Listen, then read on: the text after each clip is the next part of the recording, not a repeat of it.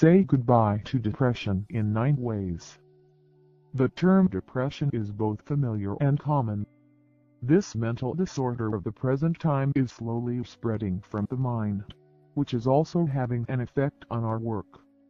As the days go by, I can hear more and more about the experience of being depressed in people's mouths. Dot Nowadays, the word is used to get up and sit down, but do we really know what depression is? Let's get to know depression. Better today. Embry Heights what is depression? Depression is a type of illness that affects the body, mood and thinking. It interferes with physical life, normal functioning and causes problems for both the person with the disorder and those who care for it. But that doesn't mean we're always depressed. That is why we need to know those symptoms according to medical science. They can be constantly feeling sad, anxious or in a bad mood. Feelings of frustration or condemnation, guilt, worthlessness or helplessness. Problems difficulty concentrating, remembering or making decisions. Insomnia, waking up early in the morning, loss of appetite and weight, or overeating and weight gain. Idea thoughts of death or suicide, attempted suicide, instability or boredom. Ways to get rid of depression. Since depression is a mental disorder, we should first try to cure it on our own. They can be 1. Set realistic goals. An important way to keep yourself away from depression is to keep yourself busy.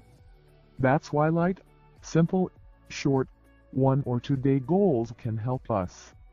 As well as taking a reasonable amount of responsibility. Dot Because, when we are busy, we can pay less attention to our unnecessary problems. We also need time to understand whether it is good or bad for any reason. If we keep ourselves busy during that time, it can help reduce our depression. 2. Spending time with relatives or friends. Instead of trying to recover, we wallow in our sadness and thus experience more failure. We have a lot of friends with whom we can never be upset but there is always laughter and jokes. Spending time with such friends helps us to have a good time and mind. It may even be nice to talk to them about the causes of depression. Gossiping with your loved ones is enough to make you feel good. 3. Looking for positivity. The first condition of depression is to think of the bad side of everything, to look for the negative. Maybe, we know that we can do this, but only because of depression we start to think about the bad side of it. Dot all we have to do is to shine a light on ourselves.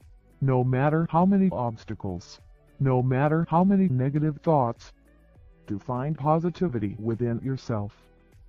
Dot no one but me can do this job. We must keep this positivity alive. Only then can negativity be overcome. For doing meditation or physical activity, we all know that our bodies and minds are interconnected.